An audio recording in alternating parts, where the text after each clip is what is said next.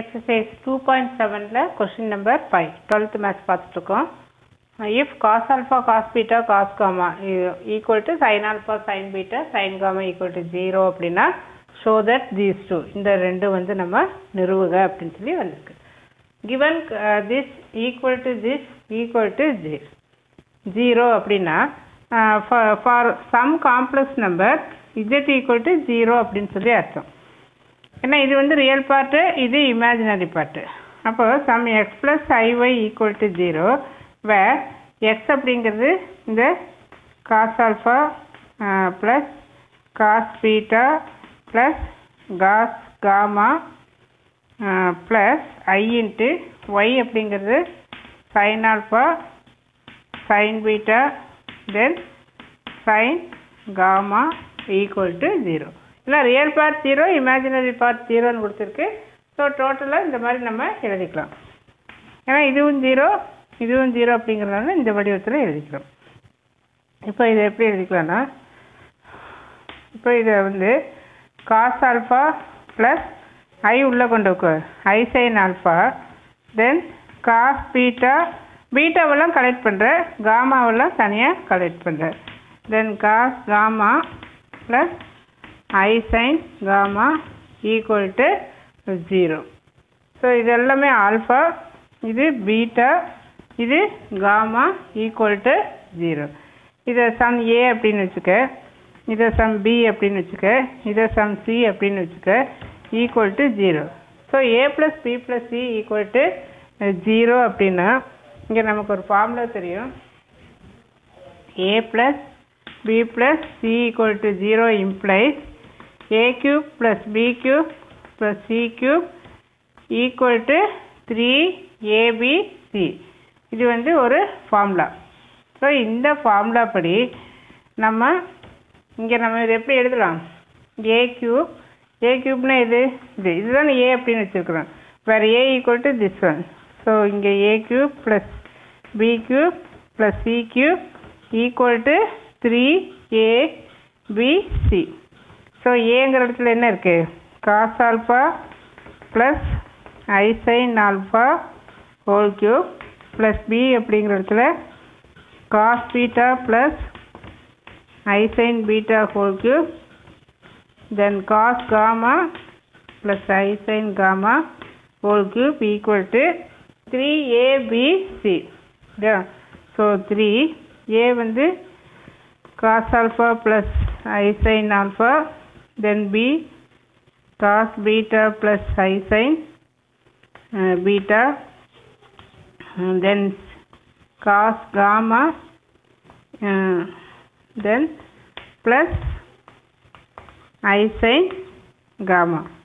So இந்த formula படி நம்ம எழுதிட்டு மேலே அழிச்சிடலாம் ஸோ இப்போ இந்த மாதிரி எழுதிட்டோம் இல்லையா? இதில் வந்து now we apply De Moivre's theorem uh, we apply De Moivre's theorem. De Morgan விதி. டிமார்கன் விதியின்படி அந்த த்ரீ எங்கே கொண்டு வரணும்? உள்ளே கொண்டு வரணும். So cos three alpha plus I sin three alpha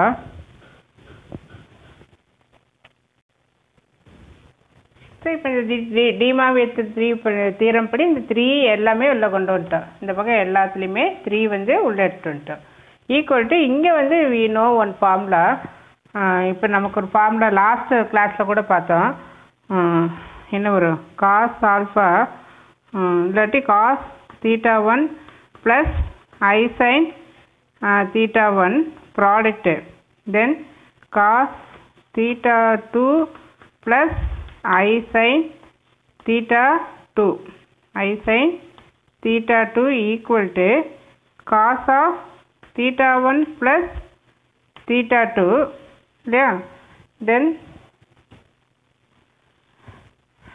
plus i sin theta 1 plus theta 2 இது ப்ராடக்ட் ரூல் இதே டிவிஷனாக வந்தப்போ மைனஸ் வந்து வரும் ஸோ இந்த இடத்துல ரெண்டு ஆங்கிள் அப்படின்னா இங்கே ரெண்டு ஆங்கிள் ஆட் பண்ணிக்கிறோம். தீட்டா த்ரீ வருதுன்னு வை. You can add third angle also so அந்த ஃபார்முலா படி நம்ம என்ன எழுதிக்கிறோன்னா cos alpha plus beta plus gamma theta one theta two theta three then plus I sin alpha plus beta plus gamma so இந்த formula படி இதை வந்து நம்ம எழுதிட்டோம். இந்த சைடு வந்து காசெல்லாம் கலெக்ட் பண்ணி எழுதிக்கேன் ஸோ இந்த இடத்துல நம்ம என்ன எழுதிக்கலாம்? So cos alpha cos three alpha plus cos three beta then cos three gamma காசெல்லாம் கலெக்ட் பண்ணிட்டோம். Then I sin three alpha sin three beta then sin three gamma equal to இந்த equal to இங்கே எழுதுனா தான் உங்களுக்கு கிளியராக புரியும்.